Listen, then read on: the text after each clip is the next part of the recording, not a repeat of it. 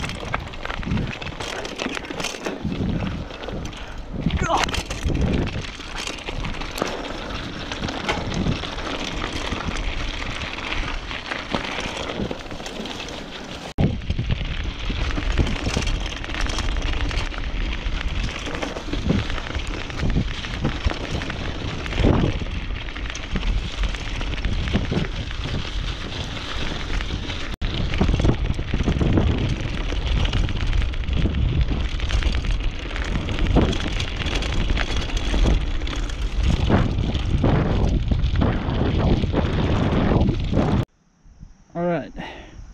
Just got here sa parking area. So, medyo pagod.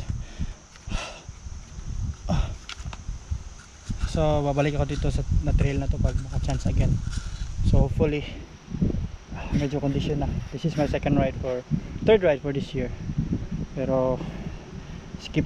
Kaya hindi masya, kaya hindi condition ng katawan. But, hopefully makakabalik tayo soon. And, uh, hopefully na-enjoy kayo sa ride. And, peace out.